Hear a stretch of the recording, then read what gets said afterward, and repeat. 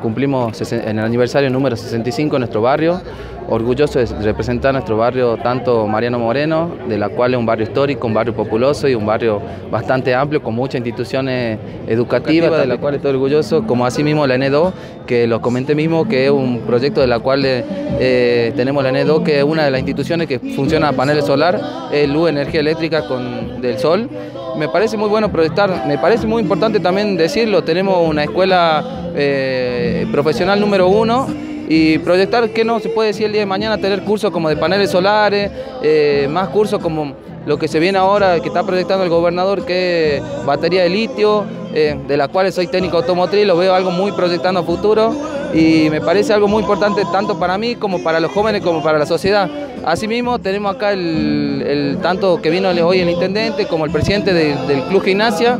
eh, ya estamos dimensionando lo que va a ser porque también Mariano Moreno cuenta con muchos deportistas de, muy buenos. Y bueno, eso es lo que vamos a proyectar a los chicos y si me toca estar el día de mañana estaré, pero si no me toca estar acompañaré. Me parece lo más importante era acompañar, estar y, y así mismo le digo a todos los vecinos que acompañen. Sí, la verdad que siempre es una alegría venir a este querido barrio de nuestra ciudad, el barrio Mariano Moreno, en esta oportunidad cumpliendo 65 años de vida. La verdad que una larga trayectoria, uno de los barrios más antiguos, una de las primeras expansiones de la ciudad de San Salvador de Jujuy y trabajando en conjunto con el centro vecinal, con su presidente, con Fabio Méndez y todo lo que hacen a la comisión directiva del centro vecinal. Y por supuesto, aprovechar la oportunidad de saludar a todos los periodistas de nuestra ciudad, aquellos que ejercen esta tan noble profesión que es justamente comunicar, comunicar lo que sucede en la realidad, comunicar lo que pasa en cada uno de nuestros barrios, de nuestra ciudad, de la provincia y de la nación. Así que en este día, que justamente se conmemora un año más de la fundación de la Gaceta